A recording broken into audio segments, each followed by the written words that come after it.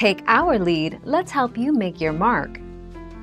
Our goal is your satisfaction. Let us show you the way.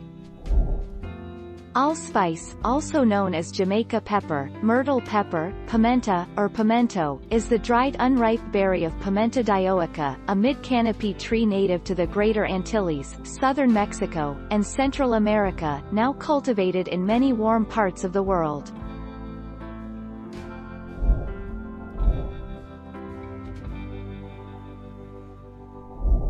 Make your mark, take our lead. Ground allspice is uniformly brown, while ground black pepper has more of a speckled appearance. The flavor is the most important factor when you are comparing any two spices and it is the most striking difference between allspice and peppercorns. Allspice offers a complex medley of flavors that account for its name. Thank you for watching. Please subscribe and hit the bell notification.